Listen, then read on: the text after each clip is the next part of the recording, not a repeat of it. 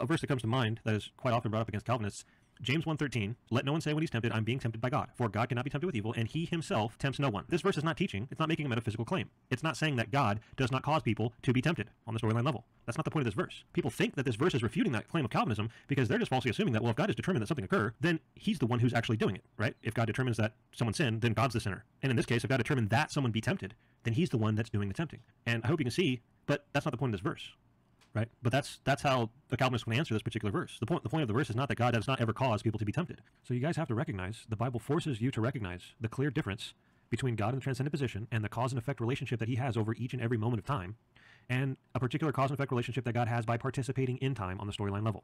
Okay, and so back to this idea of God not tempting people.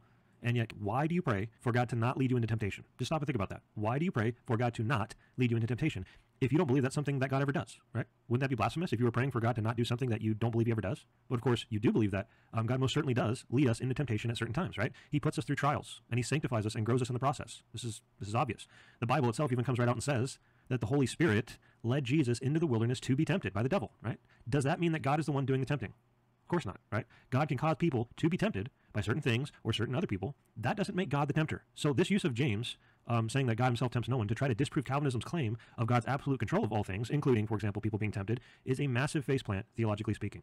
And this brings me into another very, very brief point, and that is that God does interact on the storyline level. When God saves a person and regenerates them, that is by a direct work of the Holy Spirit on our hearts, right? So when God works that somebody believe, for example, or works regeneration, that is true of both the transcendent position and the storyline level, right? God is obviously sustaining it all and bringing it about on the ultimate level, but He's also actually doing something in time on the storyline level directly. But that is not the same thing that is occurring with, for example, when people sin, or when He hardens a heart, God isn't using the Holy Spirit to harden hearts, right? He's hardening hearts through all sorts of other means that are on the storyline level, but God is not on the storyline level the one directly doing it. And this whole idea of the difference between God doing something directly on the storyline level, um, once again, God predestined the crucifixion, right? He predestined all the terrible things that people did. But does that mean that when someone tortured Jesus, that God was torturing Jesus? No, right? Doesn't follow. The only way the only way God would be torturing Jesus is if he directly on the storyline level tortured Jesus, but he didn't. Uh, he ultimately caused it. He ultimately brought it about, sure, but that's in the transcendent position once again. Um, I asked earlier, why does it rain? right? Obviously, God in the ultimate transcendent position can be said to be bringing the rain because he's in control of all the storyline level reasons behind why it's raining. But God is not on the storyline level, like pouring buckets of water over your head, right? there's, there's clearly a difference here, once again, when we understand what God is quote unquote doing in the transcendent position versus what he's quote unquote doing in time.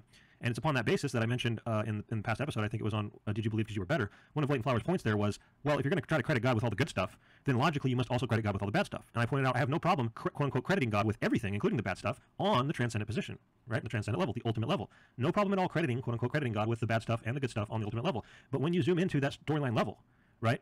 The reason God is credited with the good stuff is because the Bible teaches very clearly that the only the only quote unquote good that is done is worked by God in the believer by the Holy Spirit. It's God is actually working in the storyline level. He's working on the hearts of believers. He is working. Um, he's at work in us both to willing to do according to His good pleasure. Right. So on the storyline level, if that's all you're looking at, man is credited with bad because man is the one sinning, and God is credited with good because the only good that is done is by faith, right, and and by the Holy Spirit.